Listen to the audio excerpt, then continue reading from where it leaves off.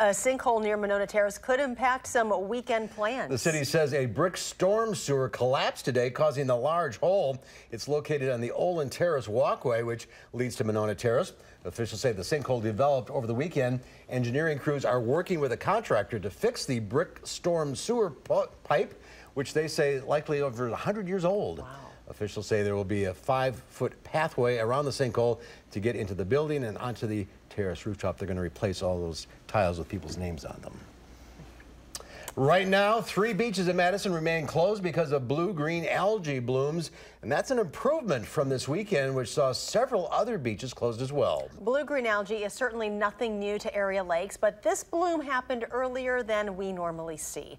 Dave Delozier joins us with more on what might be behind that. Dave? Yeah, Charlotte and Mark. You know, if you were down by the south end of Lake Mendota this weekend, you really couldn't miss the blue-green algae bloom. One description I heard painted a pretty good picture of it, saying it looked like a layer of toothpaste was covering the water.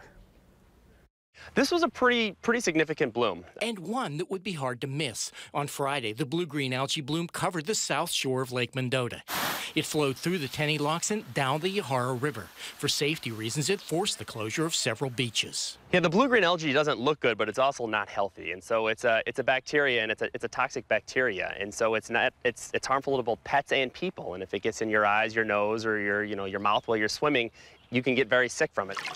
Blue-green algae blooms happen when phosphorus gets into the water. While it isn't unusual to see blue-green algae show up in our lakes, it usually happens later in the summer. The three catalyst things that probably contributed to the algae bloom were uh, rain, heat, and a lack of wind. Heavy rains last week likely washed phosphorus into the lakes, but not necessarily from where you might think.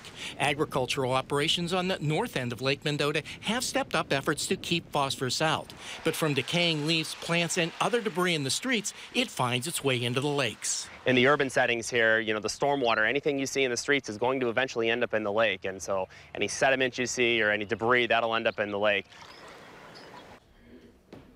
And consider this, just one pound of phosphorus that gets into the water can create 500 pounds of algae. So keeping your leaves and other debris out of the storm sewers really can make a difference.